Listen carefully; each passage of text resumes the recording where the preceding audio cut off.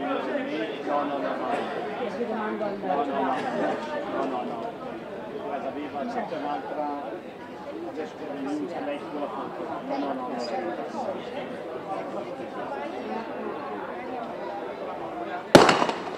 Partenza valida per questa prima serie dei 100 metri donne.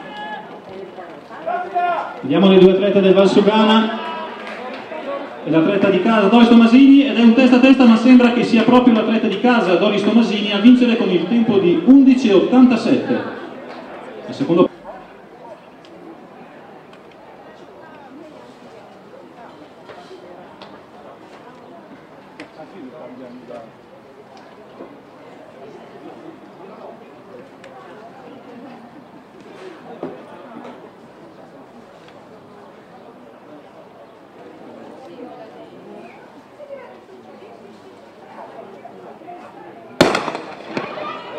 Partita la seconda serie dei 100 metri donne.